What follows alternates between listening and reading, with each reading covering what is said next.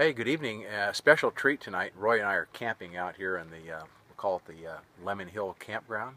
Special made campground we've worked on for quite a while and it's, we're going to use it for the first time because it, it, rained like cats and dogs last night and uh, there's no fear of fire.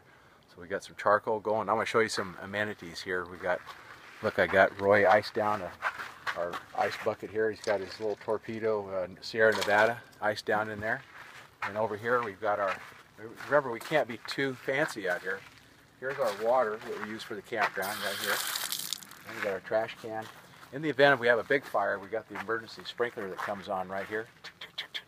Okay, sleeping facilities in there.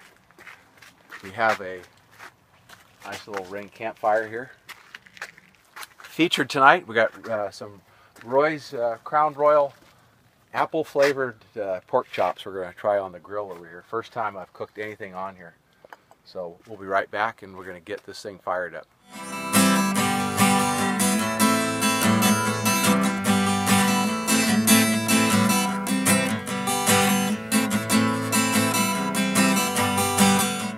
We've got a real simple uh, slate on the menu today. We've got some sliced the zucchini. The only thing we use different is this um, this chili mix right here. Extra hot, it says. I've got our chops over here on some olive oil, seasoned salt, and again some more of uh, the uh, chili mix there. And then just for a couple little goodies, we're going to throw some ears of corn in there. A little quick tip that when you first break in your little grill for the first time, you know, you I cut off some little pieces of meat and fat off the pork chops I got that grill real hot and then I kind of just like pre-cooked that all on there. I got a little, it, it helps quite a bit. I'm gonna put a lid on it. I don't wanna knock my pyramid over. They're cooking. They like it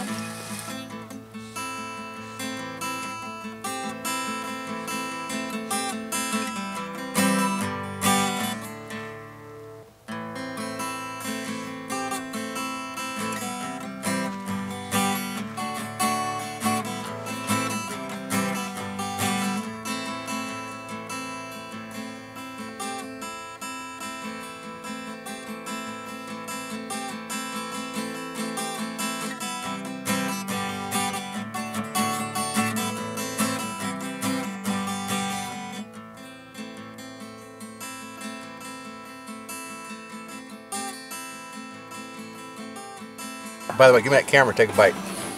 Dipping it in the sauce. oh wow. That's incredible.